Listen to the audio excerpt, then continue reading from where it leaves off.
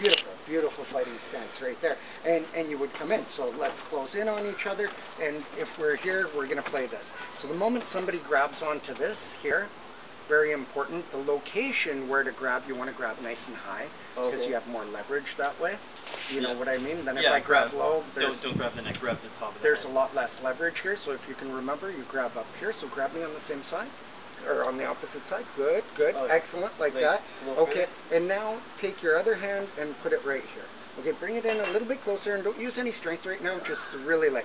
So this hand, bring it over here. This hand over here. Yep. Like this? Nope, just block this arm from, uh, yeah, this is the swim, exactly. Oh, okay. And That's the swim, back. and we're swimming, yeah. Okay, so details to this is footing. Notice how you didn't change your feet once? Okay. So when we're here and Yeah. you're standing this way, feel this. If I pull you a little bit, then I just yeah. you're, you, there's nothing to stop you from there. So so I have to. the key is to switch feet. Which, now, which foot should be like if always, you, you're like always your your in hand. Well, I call it the underhook hand. On here, it doesn't make sense, but in the body lock, it does. You know what I mean? Your your hand that's dominant, that foot forward. So if I have the clinch this way and I got both sides, doesn't Mm. matter. Yeah. You know what I mean? Whichever way I want to put my feet. But if I have it on this side and you've got it on this side, and I want to put this this foot forward, you know what I mean? Yeah. Then when I switch to this side, I want to step this way. Now, it doesn't matter whether I step that foot forward or step the other foot back. It really depends on, on the leverage, okay? So let's just start really, really lightly. That way so you can feel it. If we start wrenching on each other, we're not going to feel the, the subtle shifts of balance. You know what I mean? So go ahead, grab one. Always have both hands. Slow down, guys. This is getting rough. So nice and gentle like this. And you're, you, remember here, here, and you want to bring this in. And you want to bring this in a little bit further this way. Do you know why? See how much more difficult it is for me to come in here. Now, you don't want to get too far off balance because if you get past your center line, I'm going to break you off this way. Um, You know what I, what I mean? So all this stuff is available from there, but that's just one of the things. So go swim in here. So I'm gonna do- I'm gonna play that game with you. Yeah. You know what I mean? And see how you angled out here?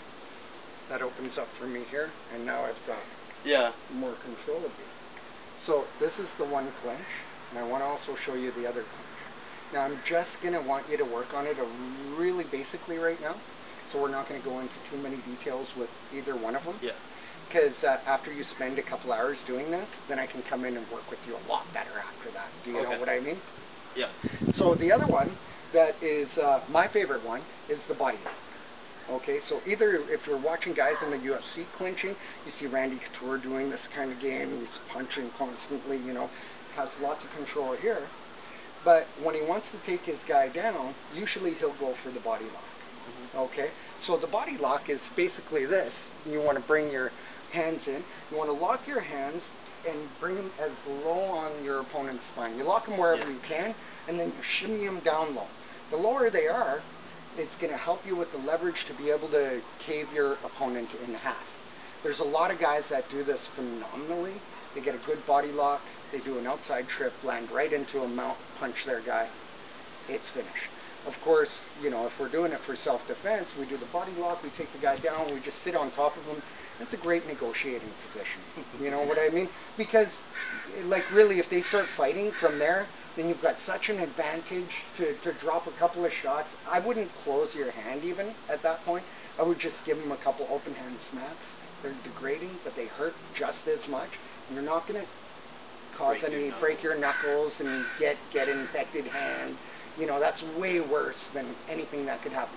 So on the street, if you don't have gloves, you really mostly want to fight with open hands. You know I what agree. I mean? I you agree. might poke the person in the eye, but then they shouldn't be fighting you in the first place. That's something that can happen no matter what.